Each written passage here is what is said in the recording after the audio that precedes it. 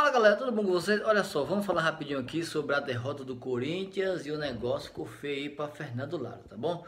O Corinthians perdeu de 1 a 0 aí para o Argentino Júnior, é um time que não consegue criar, não consegue acertar a última bola e a situação está um pouco ficando complicada aí porque a torcida do Corinthians começou a pegar no pé.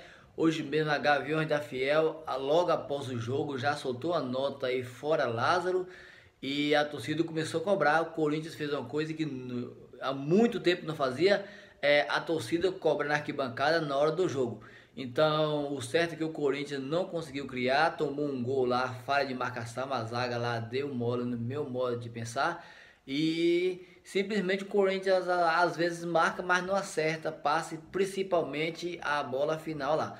Então, é, eu acho que pelo mais a gente tenta torcer para Lázaro dar certo, a gente tenta torcer para Fernando dar certo, mas só a torcida não adianta porque ele também não está fazendo por merecer, não está conseguindo fazer o time melhor jogar, é, não está tá errando na escalação, errando na substituição. Essa é a minha maneira de pensar. Então eu acho que o Corinthians tem que urgentemente no mercado é, buscar os técnicos.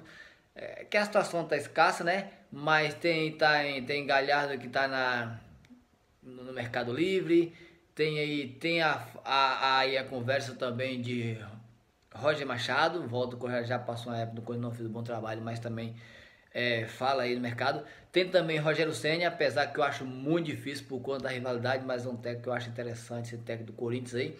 Tem Tite também aí, que tem essa conversa, mas o certo é que o Corinthians tem que ir com muita urgência no mercado, porque Fernando simplesmente não consegue fazer o Corinthians jogar, beleza?